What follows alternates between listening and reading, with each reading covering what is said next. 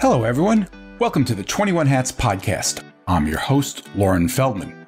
This week, Dana White informs Jay Goltz and Stephanie Stuckey that she has begun the process of franchising her hair salons across the country and perhaps the world.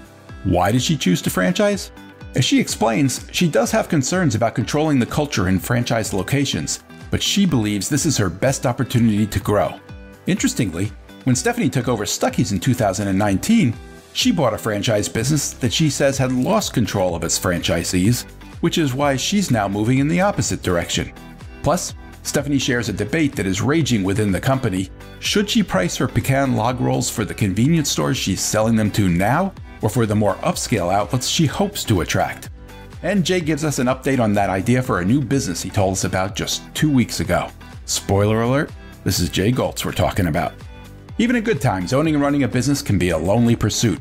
Our hope is that these weekly conversations will, if nothing else, let owners know they are not alone in facing challenges. Same thing with our daily newsletter, the 21 Hats Morning Report, which highlights the most important news of the day for business owners and which you can subscribe to at 21hats.com, where you can also find transcripts of our podcast episodes and lots of other articles and interviews. Joining us this week are regulars Jay Goltz, whose companies in Chicago include a picture frame business, Artist Frame Service, and a home furnishing store, Jayson Home. Dana White, who is CEO of Paralee Boyd, a chain of hair salons based in Detroit. And Stephanie Stuckey, who is CEO of Stuckey's, the snack and road stop business best known for its pecan log rolls. The episode is titled Dana White Decides to Franchise Paralee Boyd. Before we get started, one of the recurring themes of this podcast is that marketing is hard for smaller businesses. One reason it's hard is that we are all besieged by self appointed digital marketing gurus who overwhelm us with outlandish promises. On the other hand, there's Steve Krull, co founder of Be Found Online. A loyal listener to the 21 Hats podcast, Steve understands the business owners who listen to this podcast because he is one. He knows his stuff, but he's also a real person who you can have a real conversation with. And if you tell him I sent you, you can get a free consultation with Steve himself. Just shoot him an email at steve at befoundonline.com to schedule your talk. That's steve at befoundonline.com. Now on to the show. Welcome, Jay, Stephanie, and Dana. I hope you're all doing well. Thanks so much for being here. What's going on with you, Dana? Anything new? Nothing much, Loren Feldman. How are you doing? I'm doing okay, but Good. I'm not convinced. You sure there's nothing new with you? Oh man. Um, there's a little something new. Well, tell us about it. So I've made the final decision as to what to do with my winnings from Detroit Demo Day. Interesting. And it's been a long back and forth journey, and I have decided to franchise. Wow. Wow. That's so funny. I'm actually getting trying to get out of franchising. I'm the opposite direction. That's why I wanted you here today, Stephanie. franchising gone wrong. We're going to talk about that. But first, uh, tell us, Dana, why? What what brought you to this decision? So I had decided that it was time to expand. And so I had looked at going to Chicago. We talked about that. We had an episode. Absolutely. I was going to Chicago um, and had a conversation with my operations manager. And she said, I think Chicago would be an amazing move. But I hope you don't mind me saying, I'd like to talk to you. And I said, sure, what's going on? And she said, you know my background. I've worked with the Sports Clips franchise, Great Clips franchise, and Lady Jane's operations. And I said, yep, those are all hair salons. and, and she said, after having worked here for the time that I have, I've never seen anything like your business.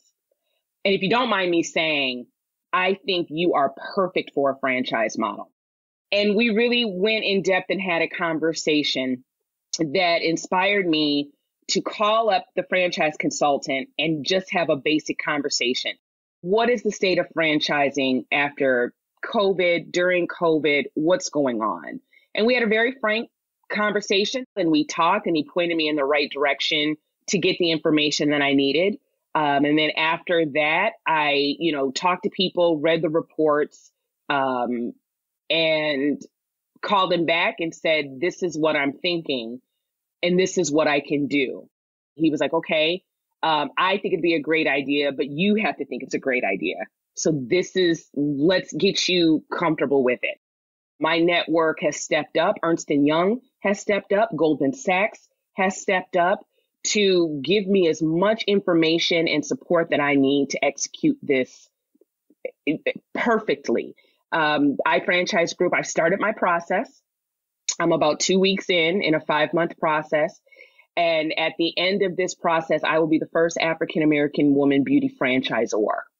And we're already starting to talk about subsidiaries in other countries, five other countries. This is the same group of um, the frame, same franchise team that franchised Drybar.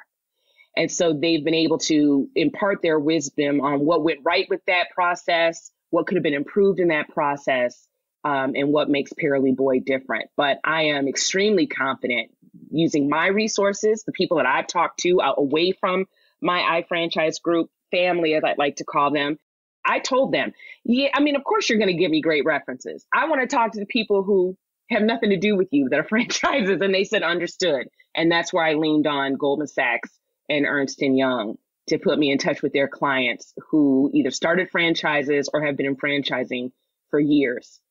Um, and that was it. We're off and running to the races. It's been a great process so far. Wow. Jay, any questions for Dana? Wow. A uh, lot to take in. Um, the franchise consultant, I mean, I've looked into this a little bit. There's, I don't know, 20 of them. This one, okay, so this one did Drybar. Okay, that's good. Are you privy to what the numbers are from that whole thing? What do you mean the numbers? What, are they making money? Is like how many lawsuits are coming from the people that bought the franchises? Are they? First question I asked was about the lawsuit. I've asked not only my iFranchise group what is the number of their lawsuits, but other franchisors, and the numbers are low. And I said, okay, but why do you have numbers at all? and they told me why they have numbers at all. And so, are there some lawsuits? Yes, but a lot of it has to do with the franchise consulting firm that you start with. No question. There's absolutely no question. And it comes down to being careful who you sell the franchise to. So there is no question that franchising is one of the greatest inventions of the 20th century. But with that being said, there's been lots of failures over the years. And I'm glad that it sounds like you did your homework on it. So, okay. Um, wow. Stephanie, how about you? Any questions for Dana?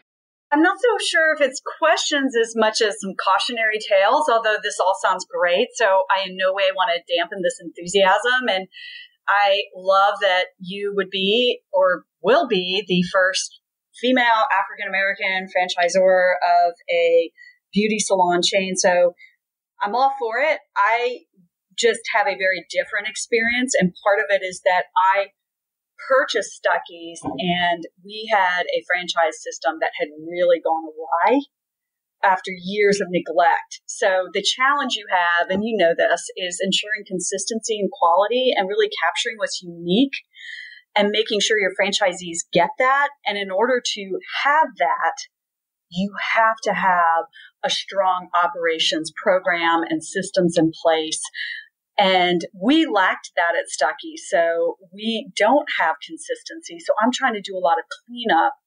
And I looked at Waffle House is a good example for me. They're Georgia based. I know some of their high up management and their general counsel in particular has been really helpful to me. And Waffle House had, I think I've got these numbers right, but it's about 70% of their stores were franchised and then they did an about face. And now I think it's to about 90% corporate owned because they were not getting the consistency and the quality in their locations. So they just started buying up the locations so they could be in control.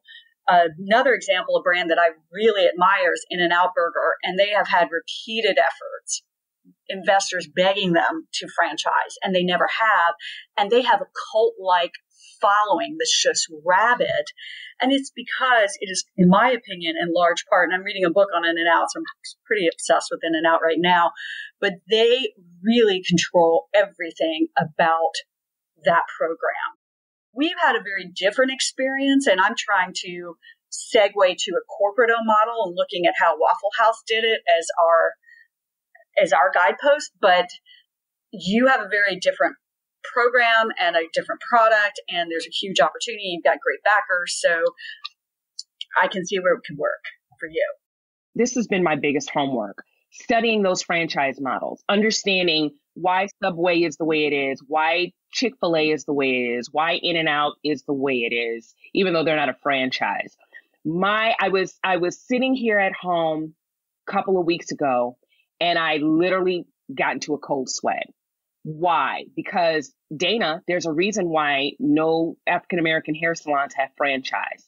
Find out what that reason is. And it dawned on me what the reason was. And so I immediately, it was a Sunday evening. Wait, wait, what's the reason?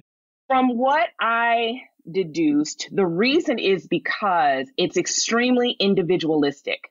Extremely. There are no, I mean, the only thing that groups people together are the four walls they work in. And that's it. What the person in the chair is doing next to you has absolutely nothing to do with what you're doing in your chair. There's no consistent branding. So I jumped on the phone with the franchise consultant because it was, uh, you know, I said, if I will be closed in five years if I don't find the answer to this. And it is going to be the culture and the training. And I have been obsessed with it for the past two weeks. The operations we have down, even though it can always be improved, and it will be through this process. I have over a hundred years of African American hair tradition to shift and execute on. And if I didn't, I told them, if you all don't understand that, if you all don't get that, this is never going to work. It's not going to work. Listen, I feel better that you have your operations manager. I feel good that this franchise consultant did Drybar and they have experience with that. But uh, this is no slam dunk. I I'm not saying 50. I don't know what the odds are, but I won't be shocked if this thing works great and you become a zillionaire. I won't be shocked if you call us in a year and go, "Oh my God, what I get myself into." I this is uh this is not a turn. The best franchises are turnkey, like like hard to screw up. This is not too hard to screw up. Get somebody with a personality problem, get somebody that can't manage. This is this is very personal, so I don't think it's the ideal franchise as far as being easy, but you know, I could see you could pull it off, but there's a lot of moving parts to this, that's for sure. There's one aspect of Dana's business that maybe we should uh, repeat for people who haven't heard her talk about it before, and that's that you know she built her systems on the principles of lean manufacturing, and I'm guessing that's what the franchise people liked and what your operations manager liked in terms of thinking about you as a franchisor. The fact that you have these very uh, you know, strict principles about how everything happens in your business that you did that to make it operate as efficiently as possible. But I assume that converts pretty easily to a, you know, a franchise, uh, explanation of, you know, what a franchisee is supposed to do. Yes. And I think to Jay's point, I think it's a matter of who you hire. We ha- we're hiring skilled labor and you have to have a license. So we can't hire a 16 year old to come in and just do the hair the people that we hire are already coming in with a skill set that is, you know, primed and ready to work in this industry. Now, all we have to do is say, this is how we do it here. I would be a lot more nervous if there had never been a salon that had franchised before. There are tons. There are dozens. there are dozens. I like the fact that Drybar already you know is out there and if it is successful which i presume you got a number okay they already did it okay i think that's fair enough. Dana, can you t- you said the consultants uh, talked to you about what worked and what didn't work for Drybar. Can you give us uh, a sense of that? Most everything worked, but from what I understand, it did become about the numbers at some point. What do you mean by that? From what I understand, it became okay, we're selling these things like hotcakes. Let's sell these things like hotcakes.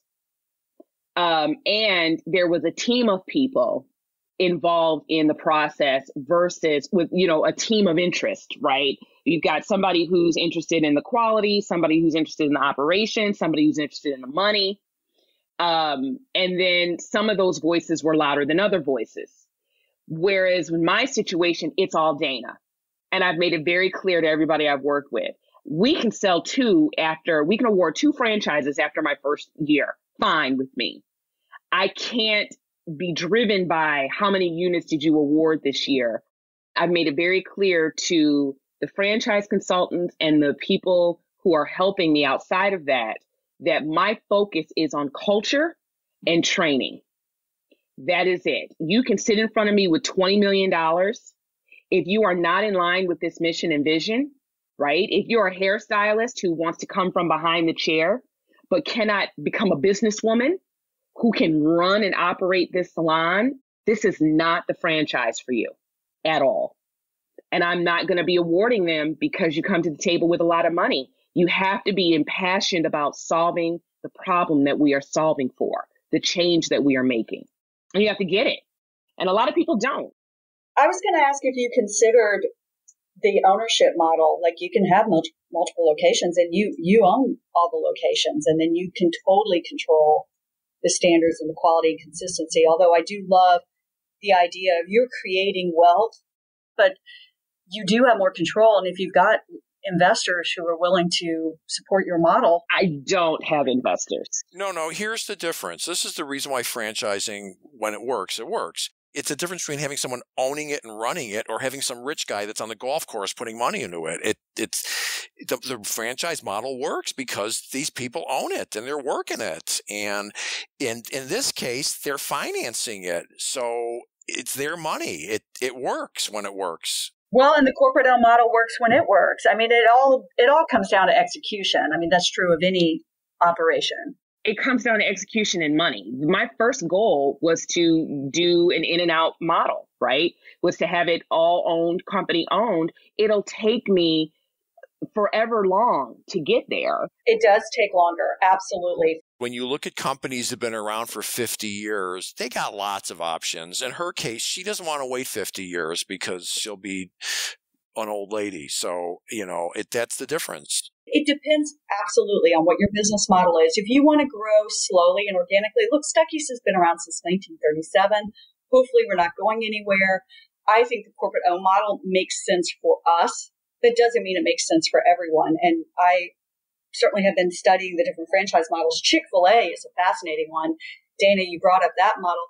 It's really not a, a franchise, as you know, because those owners, they, they call them operators. They're not owners. They, there's no equity in the business. Chick fil A owns the real estate, they own the business, and they're simply operators. You're only allowed to own one or operate one store, and then you go wherever Chick fil A sends you having said that, that, that model works for them and it, it, it's, it's hugely successful. But there are many models out there. In the small giants model, though, it also gets down to what's the definition of working. One could argue, and I do argue this, would you rather own six salons, make $800,000 a year, live in a nice house and have a nice life, or franchise 300, make I don't know, $3 million a year, but have people calling you, screaming at you at once a week and have a lawyer on staff to take, I mean, it's a different, it's a different animal. It's just different. One's not right. One's not wrong. It's what your goals are.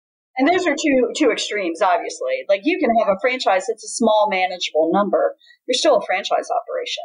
I think the math is hard to work in a quote unquote small franchise thing. I think there's a critical mass you need to have for it to work. Absolutely. It's a volume business franchise is a volume business. I am not interested in the volume business for Stuckey's. No, I think that makes sense. And my partner too. Like it's a shared vision of what we see of creating a unique brand with a rabid loyal following. So that's what we want. Dana, can you talk to us a little bit about the the uh, finances of this? You started this by telling us that you've decided how to use the money from Detroit Demo Day. Uh, I believe you won two hundred thousand dollars. Uh, you have told us previously that you've put fifty toward marketing. Are are you spending the rest on the the franchise consultant? I am. Well, not just the franchise consultant, but everything that goes with the franchise consultant. So there's legal, there's um, marketing and PR once you get up and running. So they set everything up for you. and then you use your remaining dollars to execute on the setup of the marketing. Have you figured out what the package is going to look like? What somebody has to pay you and what you are going to demand they invest in building their location?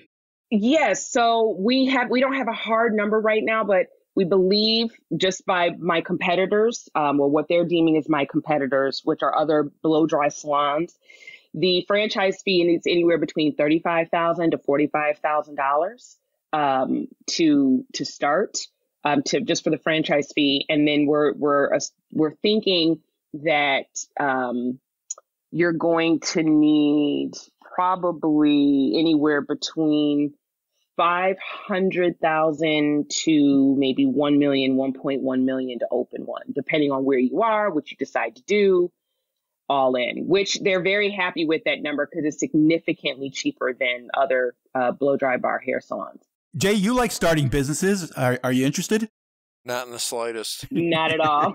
no, Jay no. cannot be a franchisee. No way.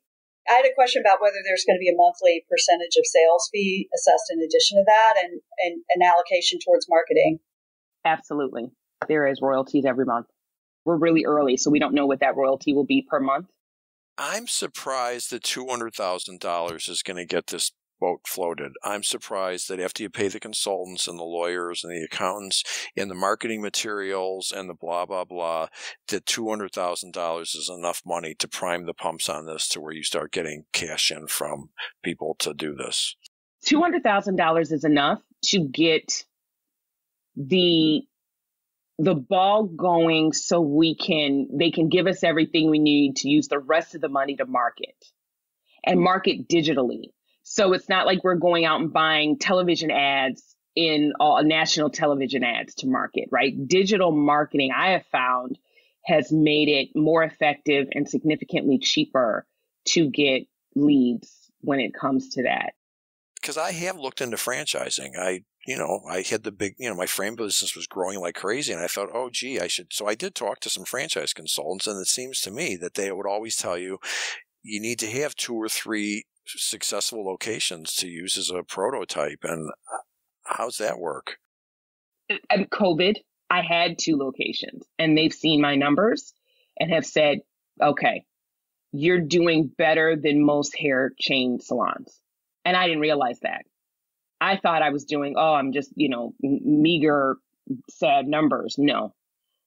They say there are salon hair chains that don't break $20,000 a month and you do even in a pandemic. And you are offering something very unique in your marketplace, which I think is a, a strong selling point. There isn't one out there. Exactly. And when I was on the phone with Goldman and then, you know, the other people, the women who are in my market screamed. She said, I work at Goldman Sachs. And it was yesterday's call. I work at Goldman Sachs. I work 12 hours a day. Do you mean to tell me at seven o'clock in the morning I could go get my hair done and still be at my desk by 9 a.m.? I said yes. Or I could come after work and I could just walk in after I get off of a conference call at six o'clock, be to you by seven and be done by 8.30. Yes. She's like, I don't think you realize what Dana's business is doing. That's why I think there's a very good chance this is going to be a home run because I do think you the market is going to recognize that. And I don't think you could, I don't think you have a choice to grow it organically because I think someone will just jump on it and get some investor money and beach it. You know, if they see you have three locations that are working well, why wouldn't somebody with money just go ahead and change, come up with a different name and do the exact same thing? I think franchising will allow you to get out there faster. And the, the hiccup for that, I was told from the consulting group, is you have to be taught how to manage a walk in only salon with volume. That's something you have to teach um, or you know put the systems in place. That takes time. You have to put the systems and the operations in place in order to do it manage it and do it successfully for eight years. And so if it were a burger joint okay here you go. If it was a coffee shop here you go. But with thick and curly hair in an operating environment of walk-in only on easter saturday we had 13 women lined up outside. All of those women were in and out in under two hours from the time they started and for those that did have a wait, because we just didn't have the, the staff volume to get them all in at the same time, we, you know, make it easier for them and they don't mind. But the fact that on the busiest hair day ever, for Black women is Easter Saturday, right? And the fact that all of our metrics had everybody in and out in a certain amount of time, the model is solid. My hair traffic controllers do a great job. Um, and now it's time to have a team help me make this, you know, something that we can duplicate nationwide, if not worldwide. And that's it. That's it. That's exciting. No, I, I think I think you can do this, Dana. I really do. I it, it, it, it all depends on what your business model is and what your what your goals are, and this aligns with the direction which you want to go. I think it's exciting, and you you're offering something incredibly special. Thank you. Dana, I think we understand why you decided to do this. Obviously, you know, there are no guarantees with any decision. Um, but it, it, it, I think it makes sense to all three of us. Can, can you tell me what, what aspect of this are you most concerned about? I'm most concerned about the, the culture. Will I be able to impart a culture of Paralee Boyd in an industry for a market that hasn't changed in over 100 years. I think what gives me hope is the fact that I won't be doing it alone. And, it, and then there are people out there that do get it. For example, um, on the phone with the franchise consulting group, they get it immediately. Everything is just clicking on so many cylinders. And I got emotional because it was, I felt like that, that puppet in that GE commercial where everybody's yelling at it and throwing food at it, get out of here. And then he went to the one company that said, you know what, come here. They cleaned him up, put him on stage, he was beautiful. That's how it feels. And you're going to get sued eventually, and that's okay. No, I mean it. It's okay. Yeah. It won't happen a lot, and you'll settle it and move on and sell it to someone else and fix it. But, you know, that's probably going to happen. I asked the iFranchise group, what is, why are your your legal, your lawsuit, your litigation so low? They said it's all in how we set up the operations. If you are a franchise owner that wants to sell them and walk away, you're not, we probably won't even take you on. And there's more of a challenge when you're looking at a service based versus a product based, and Stuckey's is a bit of both, but primarily product, and we can control the product that we supply the franchisees but the service base gets a whole other level of operation. So I, I find franchising absolutely fascinating. Well, I love the fact that you and Dana are going in opposite directions. Um, and as we continue this conversation, I suspect you'll be able to help each other.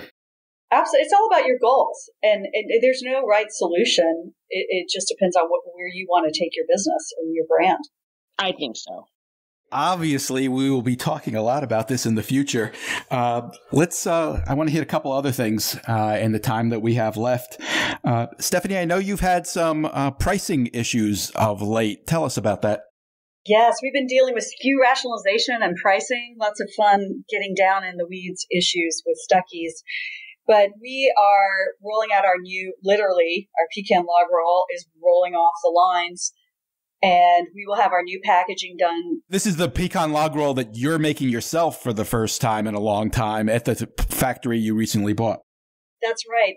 After decades of outsourcing our product line, we needed to up our candy game. If if we're best known for the pecan log roll, which is what we're known for, and we're producing a subpar quality product, then we need to figure that out. So it's taken me a year and a half to get to this point of I had to get a business partner who knows how to the manufacturing space and he's moved to Wrens, Georgia to manage the candy plant. So here's our dilemma and I love feedback on this is do we price to our current customer base or do we price to the customer base we want? Because our brand has frankly been cheapened over the years and we've gotten into more of a C store market where we really want to be more of an upscale gourmet chocolate, which is where I think we belong, or gourmet candy, a southern confection quality product.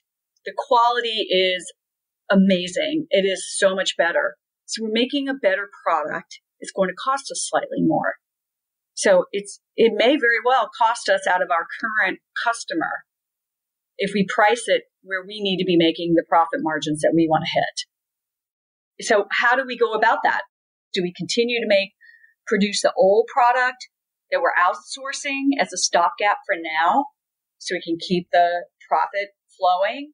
And then we're slowly introducing new markets and we're getting into better channels and we're getting into more gourmet locations. And as we grow in that more gourmet niche, then do we cut off that C store business or do we ask the C store business, okay, we know you're used to buying that Snickers candy bar for like a buck fifty. Are you going to pay two ninety nine for a pecan log roll the same size? It's better quality. I think the answer is yes, and I think you should jump.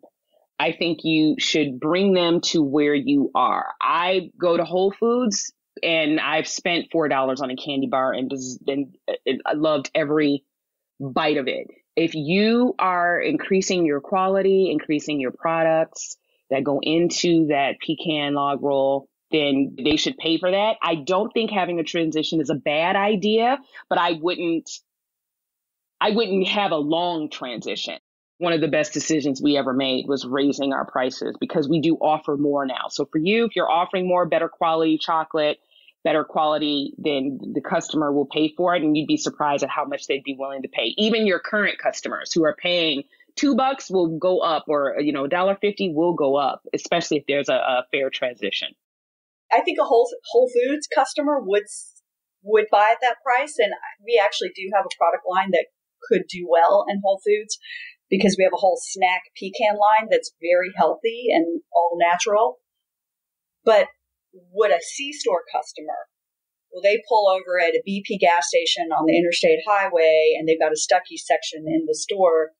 Will they pay two ninety nine for a pecan log roll when right now they're paying a dollar nineteen?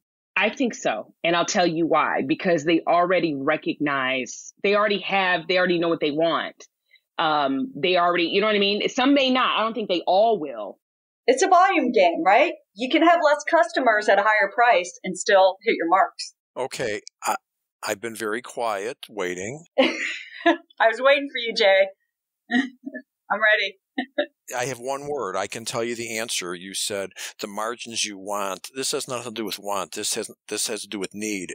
You need a certain margin, and that's what you got to charge and that's the way it goes. And and Dana just was correct. Some will pay it, and some won't. And you just answered it. And the fact of the matter is, I can show you the easy math on this. If you raise your prices thirty percent and you lose thirty percent of the business, you're way ahead because you're bringing in the same amount of money basically, except your cost of goods sold is much less.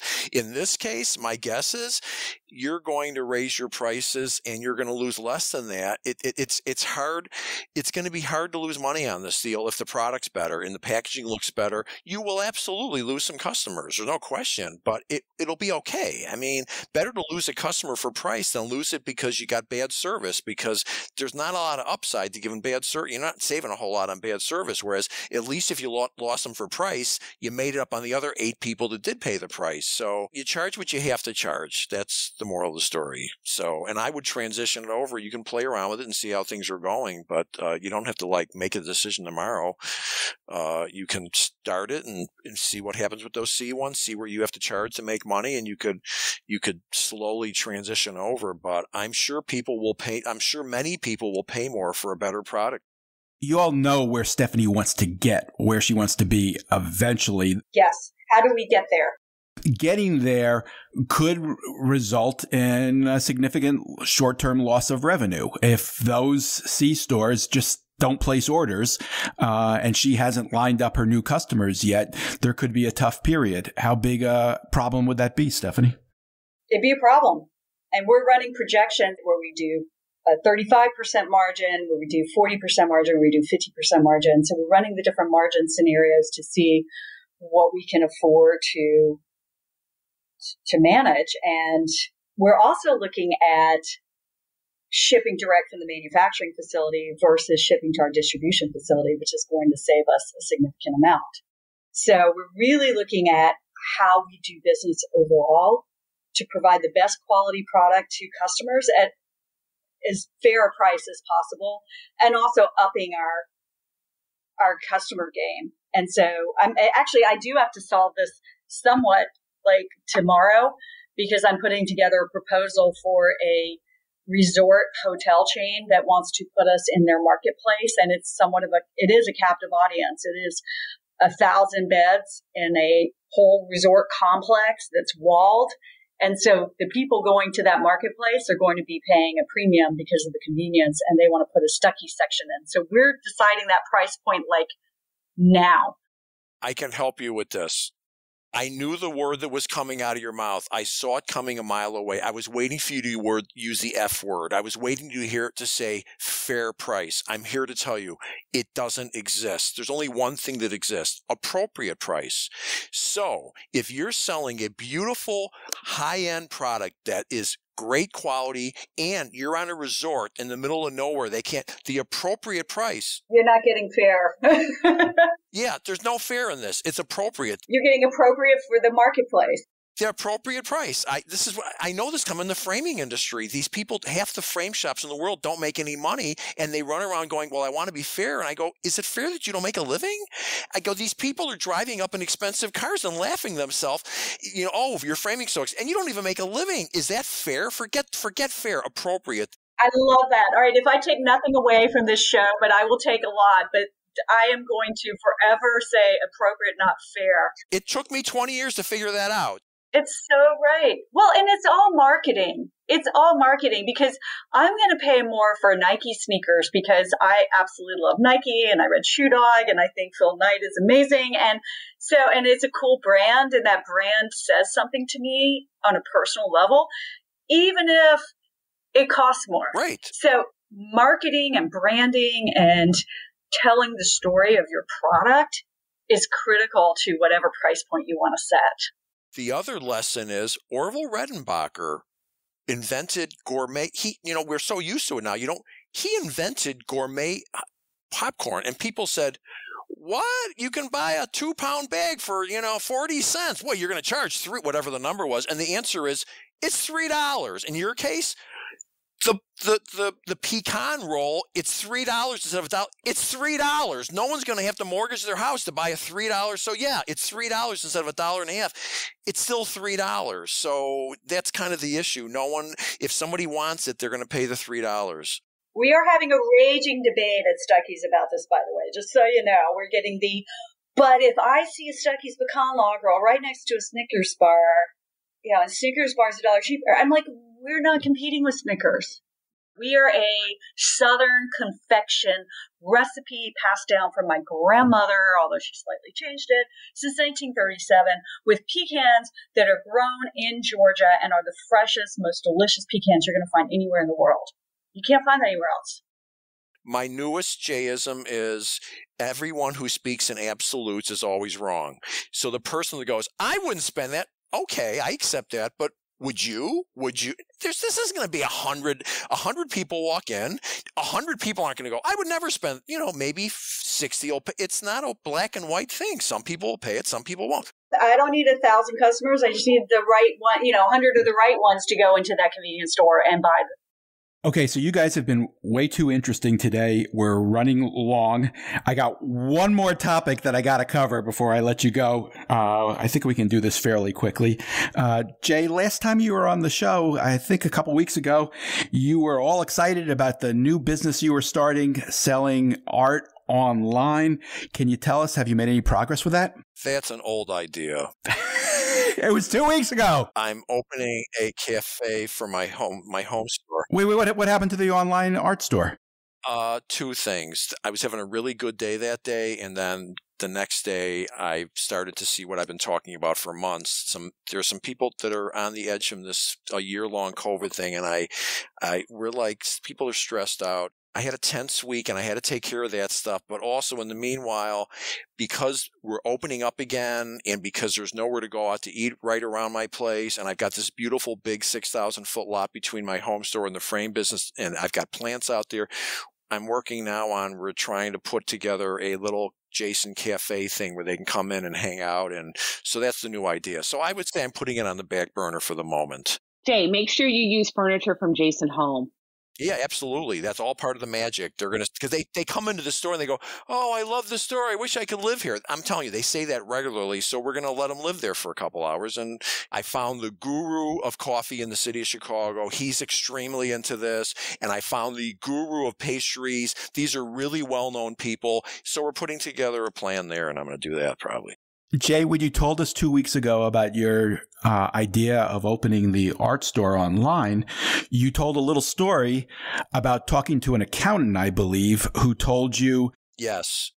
A tremendous percentage of entrepreneurs make the same mistake. They make a lot of money in their business. No, it was the banker. It was a banker, and then they decide they just have to open a restaurant. Yeah, no, this isn't a restaurant. This is this is this back to my five things um, maybe I'll put 30 grand into it or something. This is not a $300,000 venture and there's no leases and there's no, it's, it's not, it's a small thing. It's celebrating the end of COVID. That's that we want to celebrate for our customers. And I believe it's going to be a big hit.